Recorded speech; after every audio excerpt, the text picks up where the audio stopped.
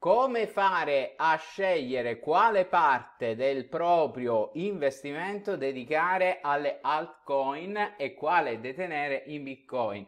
Bene, ciao a tutti, bentornati in questo nuovo video. Oggi vi spiego un metodo semplicissimo, facilissimo, ma anche estremamente utile. Sembrerà strano, ma vi assicuro è molto utile per capire quanta parte del proprio investimento in criptovalute dedicare alle altcoin e quanta parte dedicare invece a bitcoin. Capita spesso, a dire la verità, che si ci confonda attraverso una serie di investimenti che vengono messi in atto, ragazzi, semplicemente perché magari uh, ci piace un progetto, allora decidiamo una parte del nostro investimento di dedicarla a quel progetto. Però nel mercato delle criptovalute questa cosa non è del tutto corretta. Infatti è anche vero che il processo, eh, il concetto della diversificazione è fondamentale, ma ne parlerò in un altro video perché volevo specificarvi un po' dei modi in cui ragionare relativamente alla diversificazione. Però in realtà la diversificazione, ragazzi, è molto utile una, per una serie di motivi. Però nei mercati cripto, che sono mercati speciali, ragazzi, non sono uguali ai mercati hold, non ve lo dimenticate, i mercati cripto sono speciali. Allora, nel um, discorso dei mercati cripto, questa diversificazione vale tanto e non quanto. Perché? Perché in alcune situazioni è molto utile, soprattutto quando c'è un alt season, so, mm, perché insomma lì, ragazzi, i profitti vanno a go go però nella stragrande maggioranza del tempo eh, eh, la diversificazione sulle altcoin è oltre ad essere rischiosa anche poco profittevole perché ehm, Bitcoin è più forte di tutti. Allora come si fa a capire quando diversificare, in che modo diversificare, soprattutto come si fa a farlo in una maniera non soggettiva, cioè non inventata da voi in base al momento, ragazzi, ma come si fa a farlo quando ad esempio oh, abbiamo un indicatore oggettivo. Oggi parliamo di questo, vi ho preparato tre punti, vi ho preparato un indicatore che è quello che uso io, vi faccio vedere cosa faccio io, come ragiono, vi spiego questo modello, questo metodo mh, mm, che potete applicare tranquillamente anche voi in maniera semplice, lo, oh, non c'è bisogno di fare tanti calcoli, ma vi faccio capire come eh, si ragiona e eh, credo che sarà uh, wonderful per tutti quanti voi. Allora, prima di andare a vedere il grafico dietro le mie spalle e eh, spiegarvi tutto questo sistema, vi chiedo di iscrivervi al canale se ancora non l'avete fatto e lasciarmi un pollicione in su. Poi ragazzi vi chiedo di condividere anche questo video perché sono delle informazioni che possono essere d'aiuto veramente a, ta- a tantissimi cripto investitori, che poi è quello che è il mio uh, obiettivo ragazzi, darvi tanto tanto tanto di quello che so io il più possibile e aiutare il più possibile la community dei cripto investitori che come sapete insomma è il mio uh, core, core business, il mio core batte per te. Sì, Bitcoin ragazzi, anche se eh, faccio tanti mercati hold, soprattutto in questo periodo che stanno andando alla stragrande, però eh, le cripto sono sempre le cripto. Quindi spostiamoci sui grafici, guardiamo il metodo, fatemi sapere cosa ne pensate nei commenti anche. Allora, dove sono gli occhiali? Ho perso gli occhiali, eccoli. Allora, ragazzi, dietro le mie spalle l'indicatore che io utilizzo per fare eh, la Uh, per prendere le mie decisioni relativamente alla uh, divisione tra Bitcoin ed altcoin e questo indicatore ve lo faccio vedere già subito, già da subito ragazzi, è la dominance uh, che trovate su TradingView. Allora, come si trova intanto questo indicatore di dominance? Basta andare qui ragazzi e scrivete semplicemente dominance ok? E vi trova, vedete, la market cap bitcoin.d che è la dominance, ci cliccate sopra, sono degli indicatori che crea cre- TradingView per aiutarci a, a guardare delle, dei movimenti del mercato cripto, quindi sono oh, degli ottimi indicatori ragazzi, quindi io vado qui clicco e ottengo il mio uh, indicatore. Poi vi consiglio anche di non utilizzare un time frame piccolo su un indicatore del genere, ma assolutamente non avrebbe alcun senso, quindi rigorosamente utilizzate eh, solo e unicamente una um, time frame eh, weekly, um, anche daily ragazzi non ha senso, ve lo dico chiaramente, quindi questo non è un indicatore che va preso eh, per fare trading, ma va preso per eh, appunto utilizzarlo per queste situazioni. Ok, allora perché avere questo indicatore? Perché avere un indicatore che ci dice quando diversificare? Ragazzi, perché è un'indicazione statistica e quantitativa, quindi non è inventata. Con l'indicatore noi siamo più sereni, più tranquilli. Perché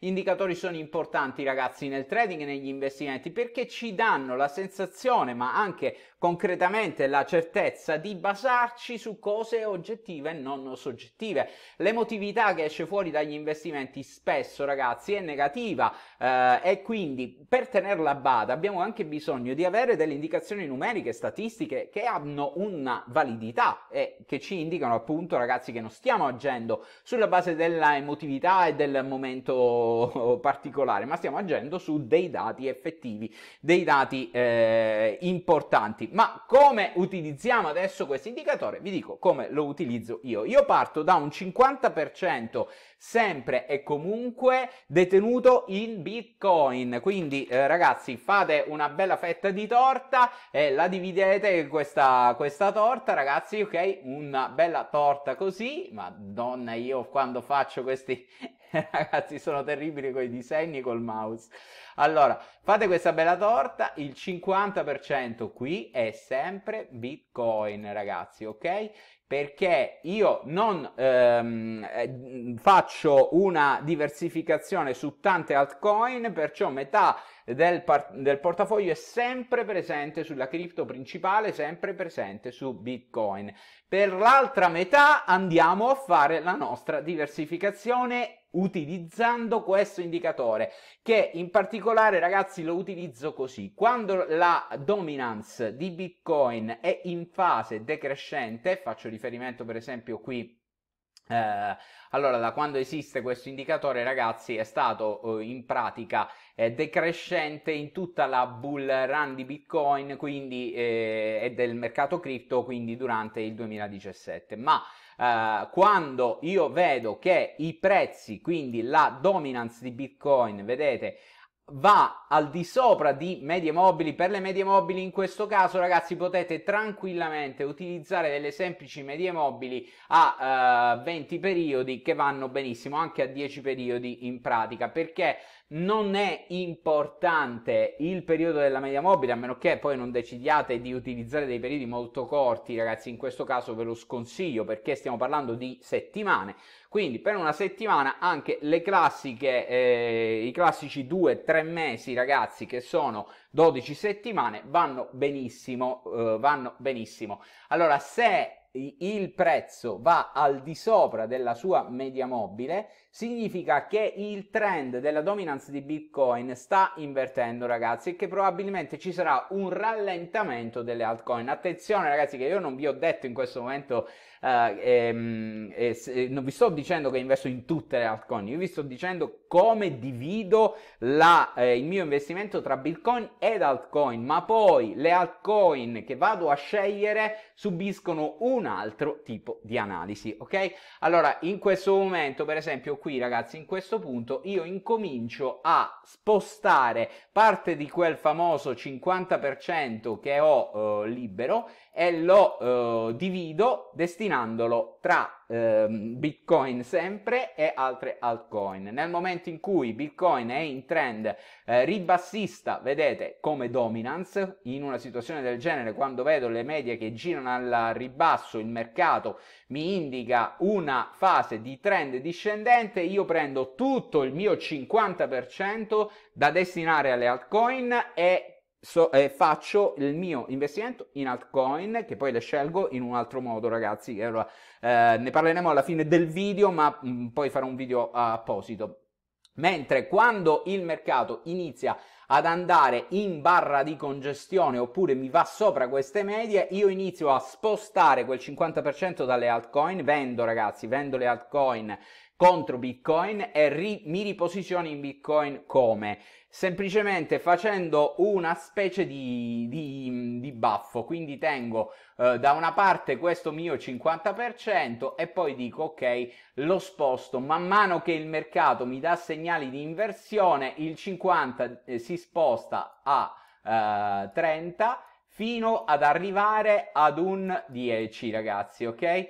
Eh, quando arriva un 10? Quando ad esempio, come in questo caso, su questo punto qui ho avuto l'inversione di trend di breve periodo perché c'è stato di medio periodo scusate eh, perché c'è stata un'inversione minimo minimo più alto massimo massimo più alto quindi inversione della dominance di bitcoin.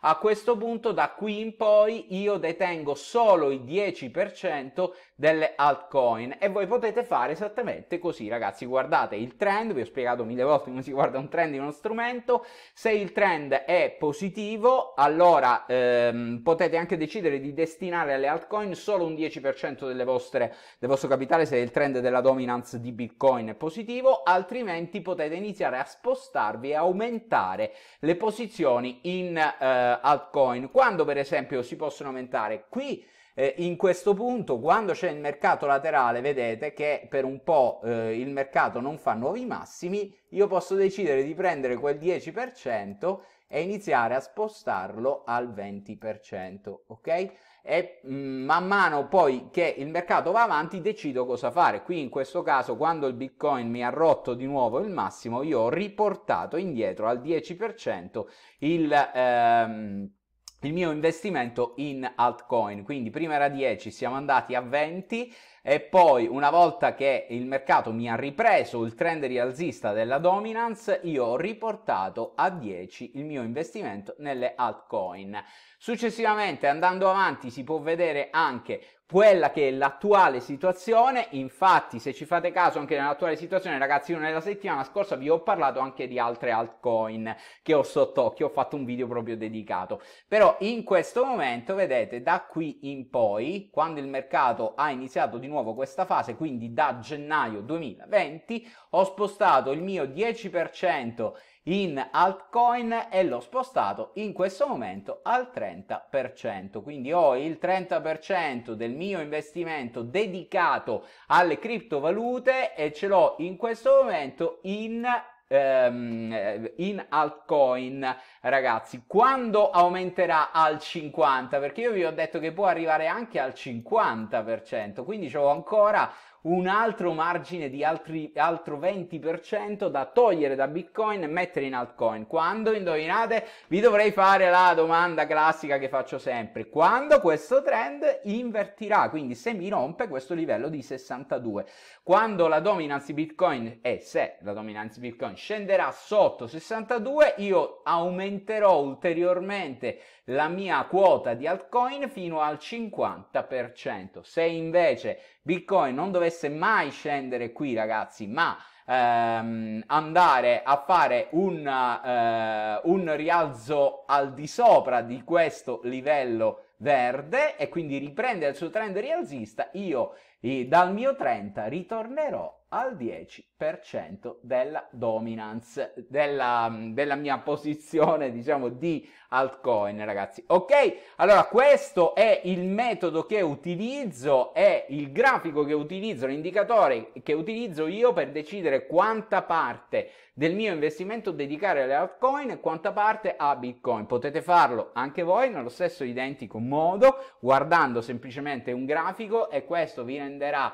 ehm, possibile decidere il money management, chiamiamolo così, eh, eh, de, tra Bitcoin ed altcoin in maniera quantitativa, statistica e oggettiva. Un grandissimo vantaggio, ragazzi. Poi, come faccio a capire quali sono le altcoin eh, da prendere in considerazione rispetto a Bitcoin? Se lo volete sapere, scrivetemelo nei commenti, ragazzi, perché dedicherò un video anche con un altro metodo per scegliere le altcoin migliori. Per oggi è tutto, fatemi sapere quello che pensate, il pollicione, come sempre, ragazzi. Ciao, ci vediamo nel prossimo video.